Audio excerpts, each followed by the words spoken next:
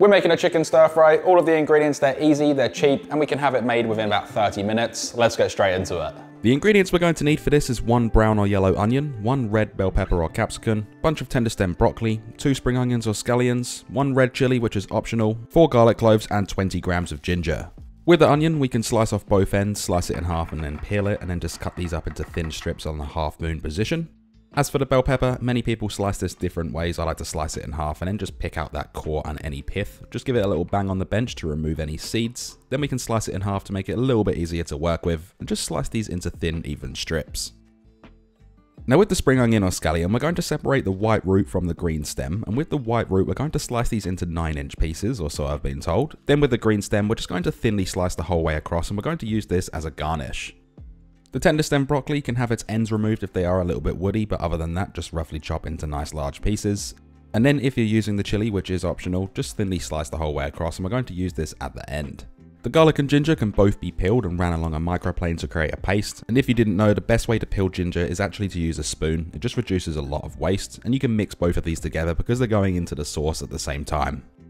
Now last but not least for cutting things up, I got 400 grams of boneless and skinless chicken thigh. I'm just slicing these into thin, even sized strips, that way they'll cook at the same rate. These can then be popped aside and placed in the fridge or whatever you need to do. Then we're going to make the sauce by adding in one quarter of a cup of chicken stock to a bowl, one quarter of a cup of light soy sauce, one and a half tablespoons of rice wine vinegar, one and a half tablespoons of Shaoxing wine, one and a half teaspoons of sesame oil, toasted or untoasted. I ended up using toasted for this recipe. We can then add in the garlic and ginger paste, one and a half tablespoons of honey, just make sure you scrape it all in there because it is the good stuff. Then to thicken it, we're going to be using one and a half tablespoons of corn flour or starch. This is just going to react with the heat and really thicken up our sauce, along with a little bit of ground white pepper to taste.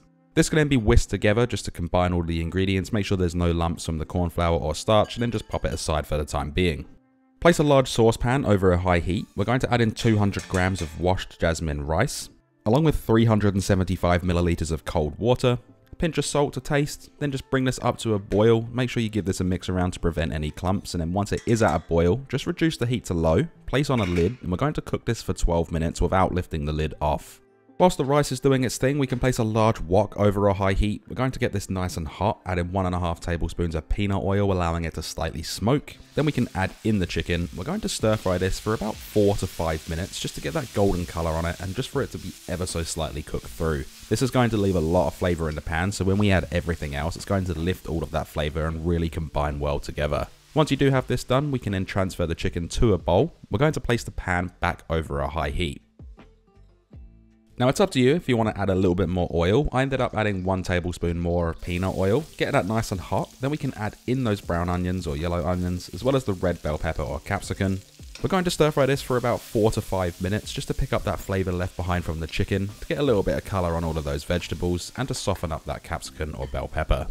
Next to go in is the tender stem broccoli, or broccolini as it's pronounced in Australia. This can then be stir fried for another 4 minutes just to get a little bit of crunch on there. It's not going to be fully cooked through and it is supposed to be a little bit crunchy, but if you want it cooked more, you can cook that first before you add the onions and the bell peppers.